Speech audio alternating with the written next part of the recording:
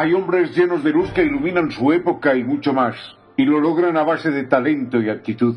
Uno de ellos se llamó Francisco María Arouet, y por su nombre pocos lo conocen. Pero si decimos que se llamaba Voltaire, entonces el mundo del pensamiento y de la literatura le rinde un homenaje merecido. Homenaje porque supo levantarse como pionero de una nueva forma de pensar, y esa forma de pensar y de ser le costó en más de una ocasión la cárcel y el exilio y hasta poner en peligro su propia vida. Voltaire era reconocido inclusive por los sectores que más reacios deberían ser a las nuevas luces con las que aportaba para entender y criticar la sociedad de su tiempo.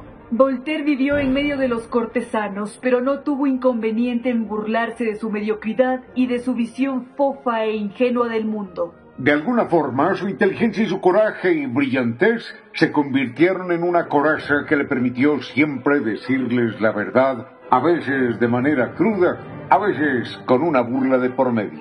Este filósofo sacudió a la sociedad de su época con su irreverencia y su profundidad. Frente a la ignorancia, Voltaire oponía la racionalidad. Frente al fanatismo, el estudio. Y frente a la intolerancia y las persecuciones, Voltaire oponía el respeto a otros puntos de vista y la libertad de pensamiento. Profundo crítico de la sociedad de su época. Ese era Voltaire Irónico, agudo, brillante pensador, un hombre que se considera uno de los padres y gran vocero anticipado de la Revolución Francesa, aunque no vivió lo suficiente para presenciarla.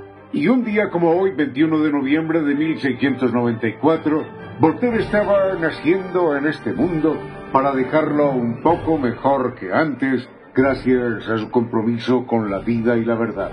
Recordémoslo siempre como el hombre que desde cada página le cantó a la razón algo que no abunda en el género humano.